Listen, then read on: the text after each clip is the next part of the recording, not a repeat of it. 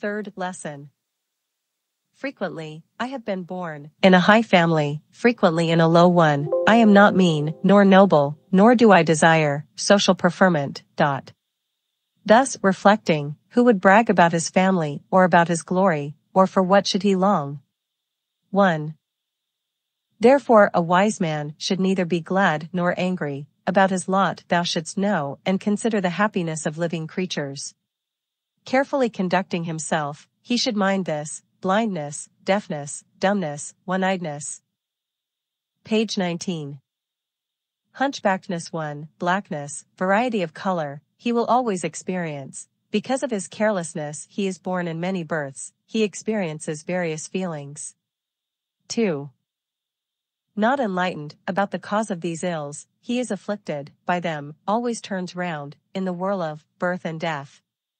Life is dear to many who own fields and houses.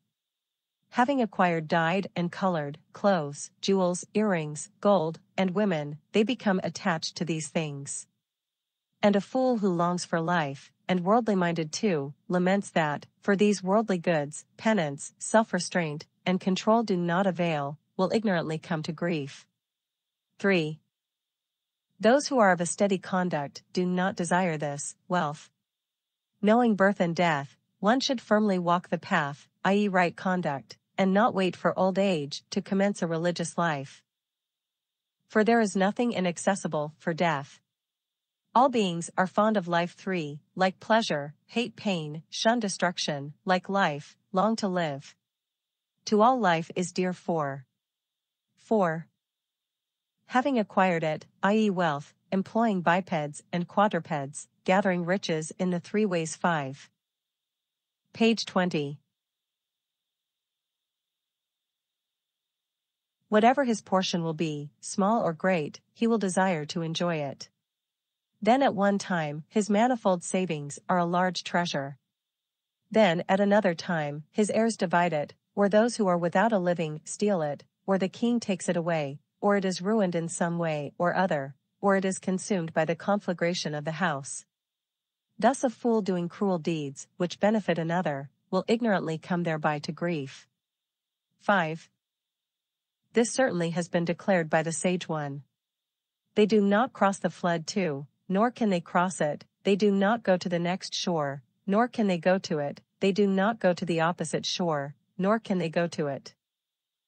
And though hearing the doctrine, he does not stand in the right place, but the clever one who adopts the true faith stands in the right place, i.e., control. 3. He who sees by himself needs no instruction, but the miserable, afflicted fool who delights in pleasures, and whose miseries do not cease, is turned round in the whirl of pains. Thus I say. 6. Footnotes 19 1 Hereafter Vadabhadam explained by Vinargataprtha by Vidabalakshanam. 19 colon 2 Sampunam equals Sampurnam, lit.